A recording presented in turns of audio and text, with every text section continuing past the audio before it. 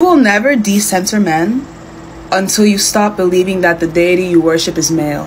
Oh my God, she just no, no, she gotta be kidding. No, What she just gotta be kidding. What do you mean? Religion is masculine. This is why they tell you that God is a man, because masculine mind, man, it actually blocks you from your heart. Gender happened to God without God's consent.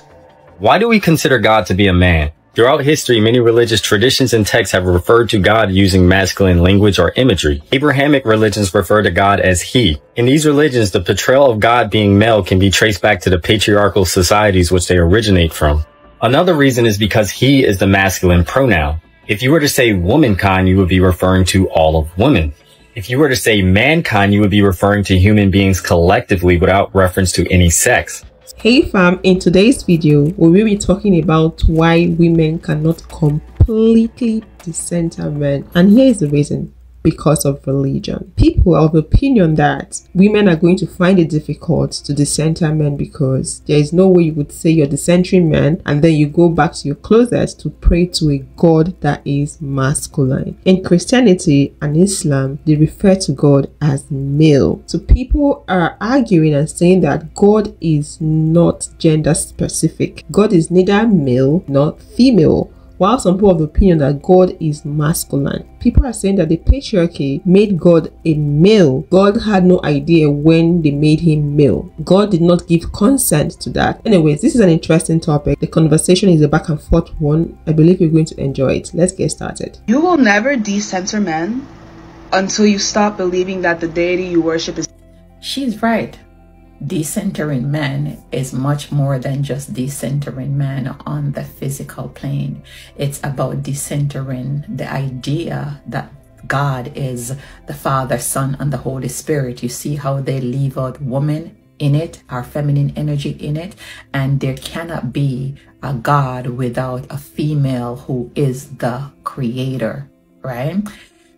Decentering man is also about thinking that man should lead you like you are a, a sheep. Decentering man is also about working with your masculine energy that you have here.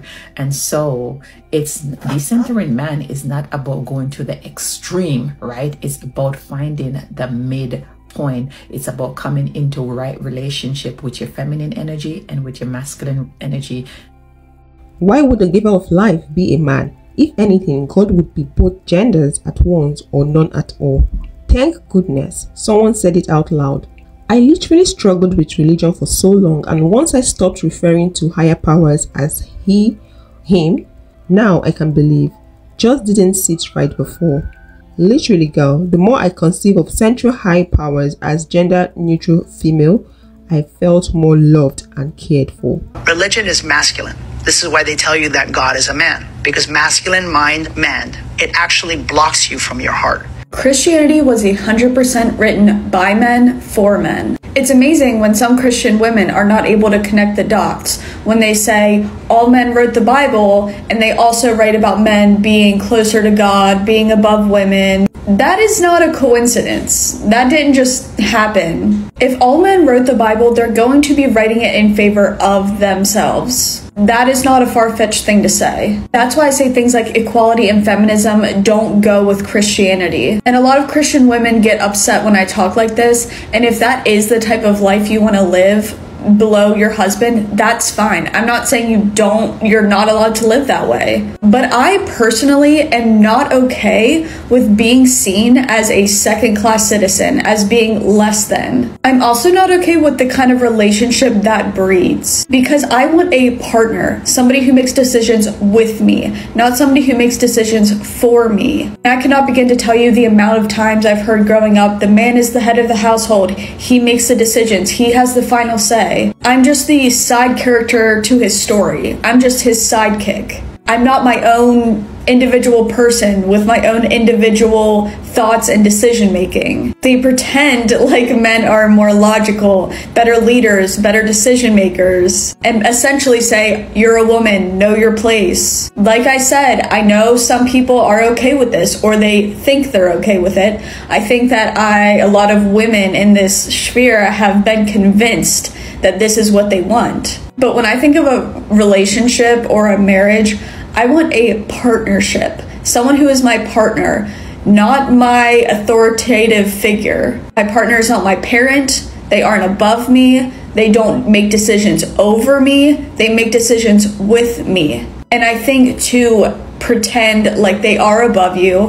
and pretend like they are smarter, more logical, closer to God than you is doing yourself a disservice. There is a book of Mary Magdalene that wasn't included in the Bible. I was brought up learning how to serve my husband. Every conversation stayed with so you can do this for your husband instead of so you can be this. I remember hearing a woman that I respected proudly saying that she learned that her husband is everything and she exists for him. I feel like every one of us is a God in a way. We are the only ones responsible for our lives and we are going to flow with it. I am a Christian, but I 100% agree with this video. My dad says all the time to my mom that he is the head of the house and it bugs me so bad.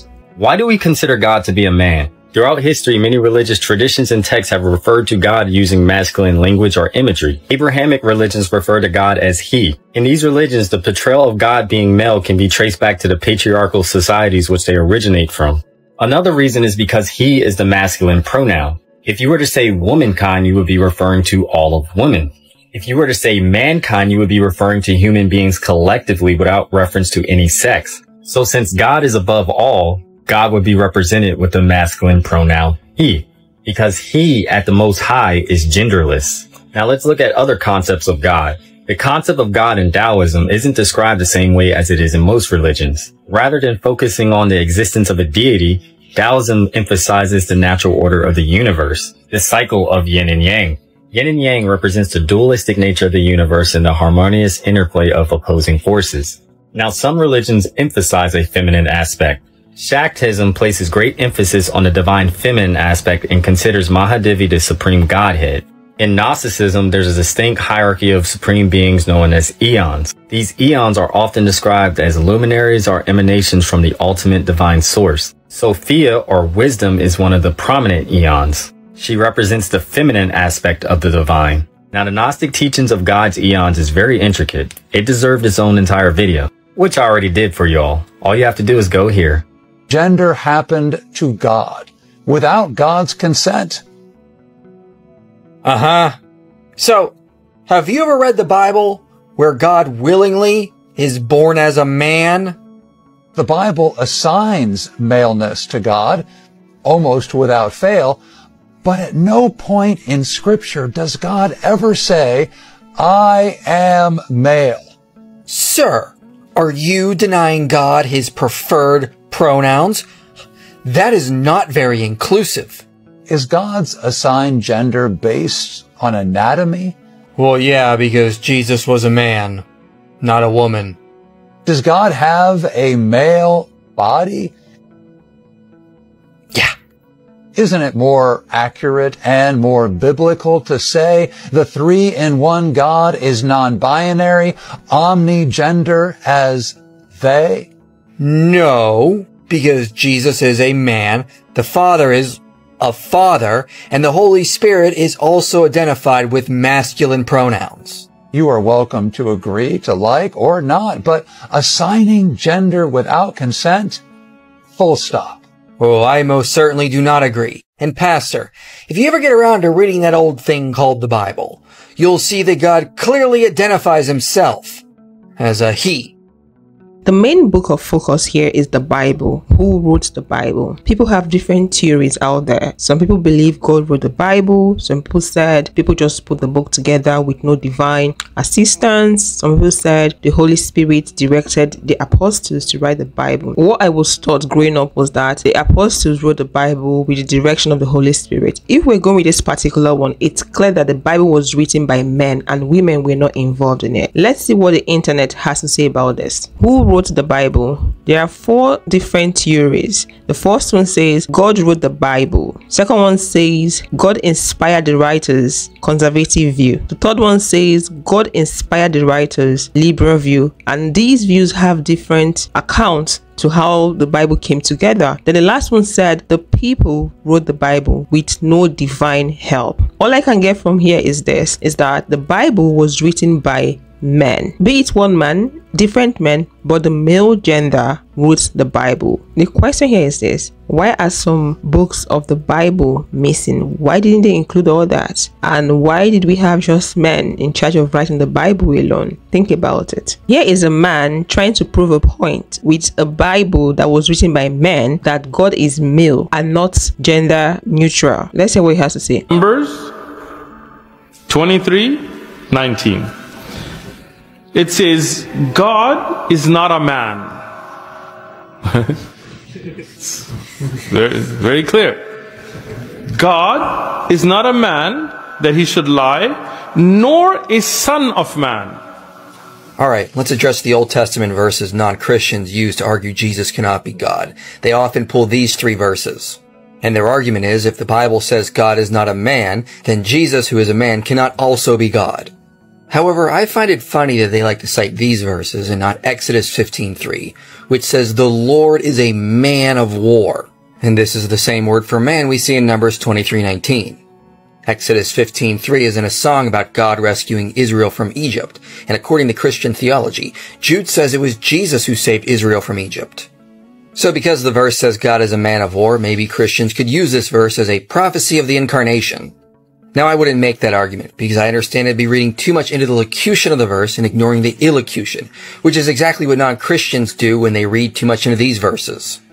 Because they're not defining God's ontology, they're telling us aspects of his character.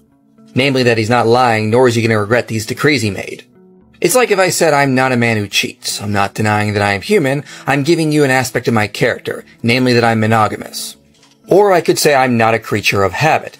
I'm not denying that I'm created and therefore claiming to be the creator. I'm giving you an aspect of my character as a created being.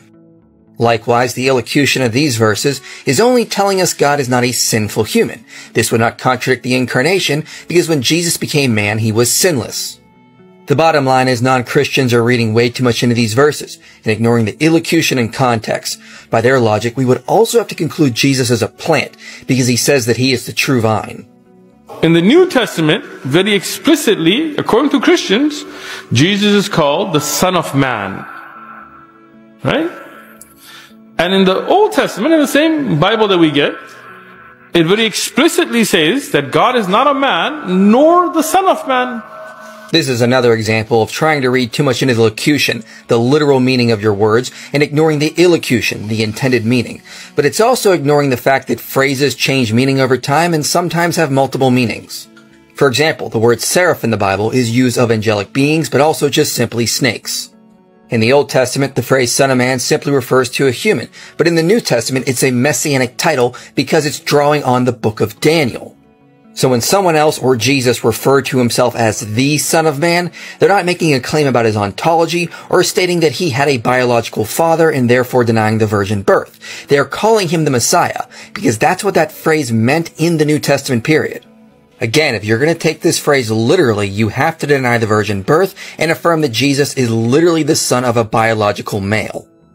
I believe in God. I'm not religious. I believe God exists. I believe God created me. I believe God is in charge of the world. But I am not a religious person. Religion comes with a lot of controversies, drama, hypocrisy, and all that. The God I serve is not a God of confusion. Because the man that just finished speaking, he sounded confused with his explanation and he was contradicting himself back and forth. God cannot be saying he's not a man and then he is a man. I don't know what's going on there. Anyways, let's hear what this Muslim man has to say with his own explanation. If Allah is genderless, why is it only appropriate to refer to him as he or him? Good question, and there's a lot to unpack here. The first is that people have a lot of confusion between the concept of natural gender and the concept of grammatical gender. So uh, natural gender refers to like a, a male, an animal with male organs is male, an animal with female organs is female. We get that. Grammatical gender is based on language convention, and that's a little bit different. So in languages like Arabic or even languages like French, every single noun is either masculine or feminine. In French, for example, the, the word for a chair is feminine. In Arabic, the word for a chair, kursi, is masculine. It doesn't mean that the chair is literally male or female. This is just the convention of the language. Likewise, Allah subhanahu wa ta'ala is referred to at, with the grammatical masculine, not that he is naturally masculine. There's a difference between these two, and that's something that's really important to understand. Uh, the problem where things get blurred is in a language like English, where there are words that are gender neutral, like the word it. So people start to do something where they anthropomorphize God, where they try to treat God like a human being, right? They don't ask why is the chair male or female, they ask why is God he or her. And the reason is because they're treating Allah subhanahu wa ta'ala like a human being, which is completely against our religion. Uh, the other thing to understand is Arabic the default is the masculine. You know, sometimes people ask, why do male Arabic male singers always sing Habibi, Habibi? Are they singing to other men or are they singing to other women? Who are they in love with? And the reason is because the Arabic language, the masculine is the default. Whereas if you were to make something feminine, you would actually be specifying the gender to it in many cases. Not in every context, but in many cases. And so when they keep the terminology in the masculine, it actually refers to the males and the females. But if they were to make it feminine, then it would only refer to men right? So if they wanted women to sing along, it made sense to keep it in the masculine because then both men and women could use it. Uh, and it's important to understand that the concept of grammatical gender is not misogynistic. It does not like say that one thing is better than the other, right? So Al-Mutanabbi, one of the great scholars of the Arabic language and poets, he said, وَمَا التَّنِيثُ لِسْمِ الشَّمْسِ عِيبٌ وَلَا تَذْكِيرُ فَخْرٌ لِلْهِلَالِ He said that uh, making the, the sun feminine is not a flaw, and making the moon masculine is not fakhr, is not a source of pride.